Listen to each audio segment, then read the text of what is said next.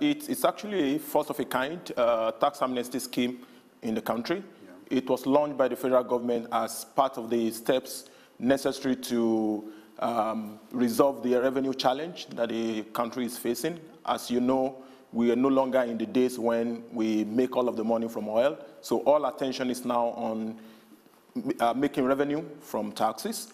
And the attempt is to get in as many people as, as possible who previously were not paying taxes or they underpaying taxes or not even tax registered.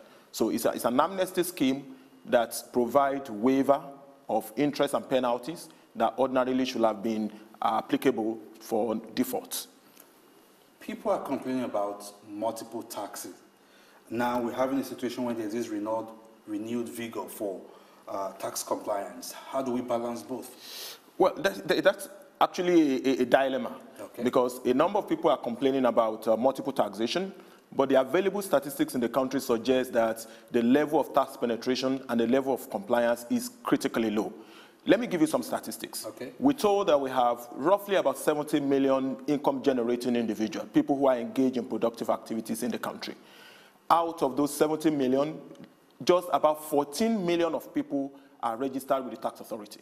Mm. So meaning that four out of every five eligible taxpayers are not within the tax net. That's one. Nigeria's tax to GDP ratio is 6%. That's about the lowest you could find anywhere in the world. The average for most OECD countries is around 30%. Our next door neighbor, Ghana, is around 15%. Many countries are doing far above 40%. So those kind of statistics suggest that the level of compliance is significantly low. And what the government is trying to do is to get in as much of those uh, who are not compliant at the, at the, moment to come and join the tax nets. Okay, there's this talk about much talk, less results. How are we sure this experience will be, this scheme will be different in, in this regard? I, I, don't think we have an option other than okay. to succeed with this particular scheme. We are in a serious economic crisis. Nigeria is facing serious revenue challenge. Gone were the days when we think we could go ahead and borrow to finance our infrastructure uh, and capital project, mm. but we no longer have the resource to be able to service those funds um, the, the, the, way they should. If, if you look at our deficit to GDP uh, ratio, it looks very decent at about 2%, but we're spending well over 25% of our revenue to finance debt in this year's budget. So mm. it's no longer sustainable.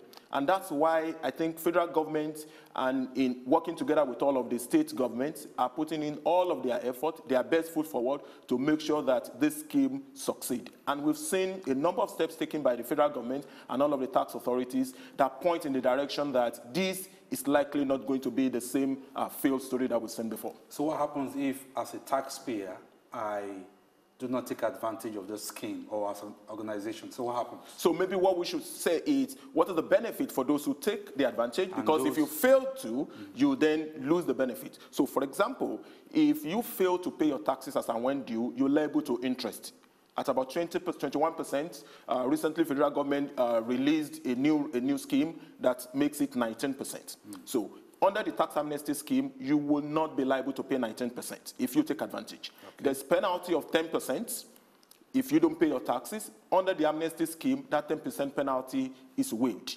If you don't pay your taxes, you are liable to tax audit, you are liable to uh, investigation, you are liable to criminal prosecution. What the amnesty does is to take away all of those penalties. So if you take advantage of those, you stand the chance of getting almost 30% interest and penalty waived. The period, which is six years, is covered from tax audit and investigation. You are immune from prosecution, and you are protected and you are guaranteed confidentiality. If okay. this expires after nine months, because the scheme is only available for nine months, from 1st of July to 31st of March 2018, yeah. if you fail to take advantage of that scheme, it means you want the federal government to you know, enforce the law and, and, and, and subject you to all, all of the penalties that ordinarily should have been waived for you. So let's talk about that time frame. Is it long enough?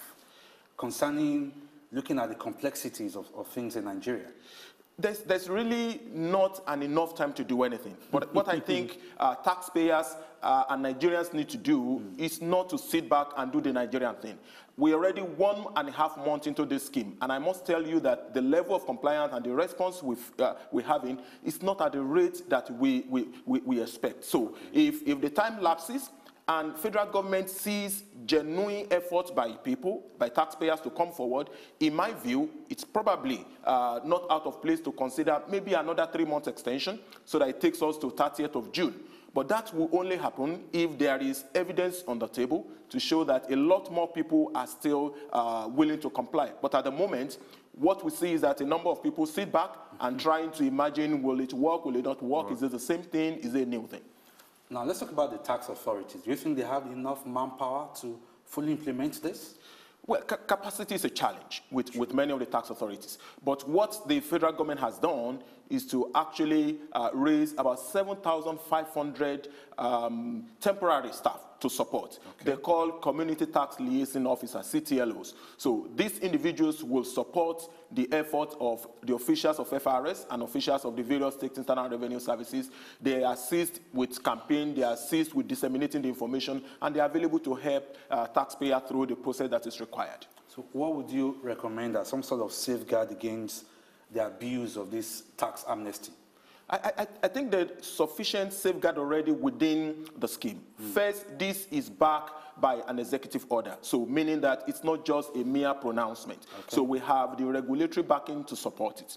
And within that order is protection of you know, uh, privacy and confidential information. Because if I must tell you, in addition to the fact that we needed it to, to, to up our revenue, Nigeria is now a signatory to this global uh, exchange of information. What that means is that many jurisdictions around the world are going to share personal details, assets, and information of uh, VIPs and individuals all around the world. So those, those scheme requires some guarantee that my confidential information is secure with the, with the, government, of, with the government and its officials. So my recommendation would be for the, the, the, the implementation to run according to the spirit and the letter.